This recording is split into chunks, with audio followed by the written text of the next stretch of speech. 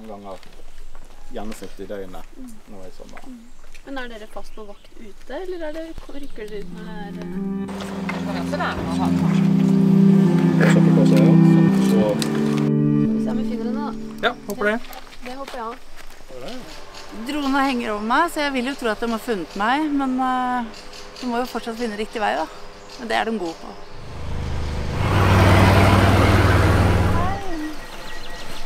Godt å se deg igjen. Jo, i like måte. Ja da, det er eh, Jeg var litt uoppmerksom. Det har vært veldig fint eh, å få lov til å være med ut og se på den innsatsen som eh, gjøres. Eh, Og Unnskyld.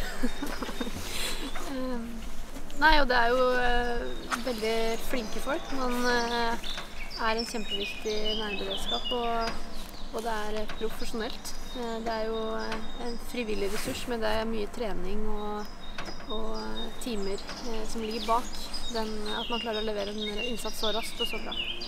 Er dere klare? Ja. En, to, tre.